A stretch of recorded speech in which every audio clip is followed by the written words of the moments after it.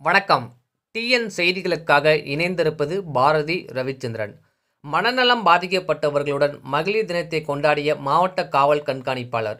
இனி விரிவான செய்திகள். அரியலூர் மாவட்ட காவல் கண்காணிப்பாளர் பிரோஸ்கான் அப்துல்லா அவர்கள் தலைமையில் கூடுதல் காவல் கண்காணிப்பாளர் திருமேனி அவர்கள் முன்னிலையில் இன்று உலக மகளிர் தினத்தை முன்னிட்டு விலாங்கு விலாங்குடியில் அமைந்துள்ள வேளா கருணை இல்லத்தில் உள்ள மனநலம் பாதிக்கப்பட்டவர்களுடன் மகளிர் தினத்தை காவல்துறையினர் கொண்டாடினார்கள். தலைமை வகித்த மாவட்ட காவல் கண்காணிப்பாளர் என்று உலக மகளிர் தினம் கொண்டாடப்பட்டு வருகிறது.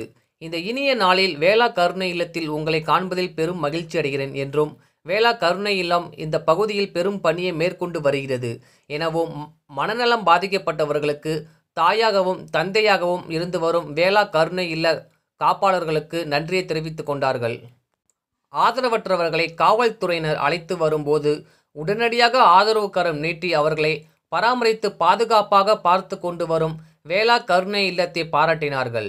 மேலும் மனநலம் பாதிக்கப்பட்டவர்கள் தகுந்த பயிற்சி அளித்து அனைவரும் நலமுடன் வாழவும் இங்கு அனைத்து வசதிகளையும் செய்து கொடுக்கும் தொண்டு நிறுவனங்களுக்கும் நன்றி தெரிவித்தார்கள். முயன்றால் முடியாதது எதுவும் இல்லை எனவும் அனைவரையும் குணப்படுத்தலாம் என்று உயரிய நோக்கத்தோடு செயல்படுவோம் என்று கூறினார்கள்.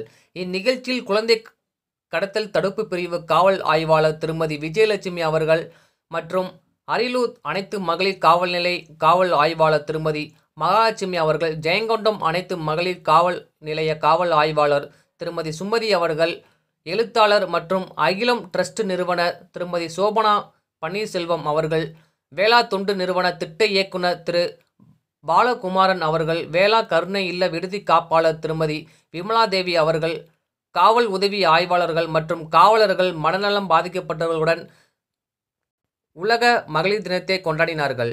டிஎன் செய்திகளுக்காக அரியல் மாவட்ட செய்தியாளர் எஸ்பி ரவிச்சந்திரன்.